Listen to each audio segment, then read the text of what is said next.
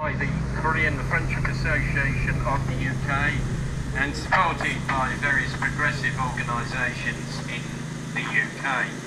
We are here today because tomorrow, the 25th of June, will be the 73rd anniversary of the provocation of the Korean War by the United States imperialists and their miserable South Korean puppets.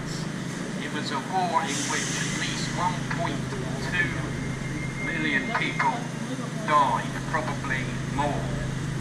So we are here to mark that occasion and call for the withdrawal of all US forces, US troops and US strategic assets from the south of Korea and for a permanent peace agreement on the Korean Peninsula.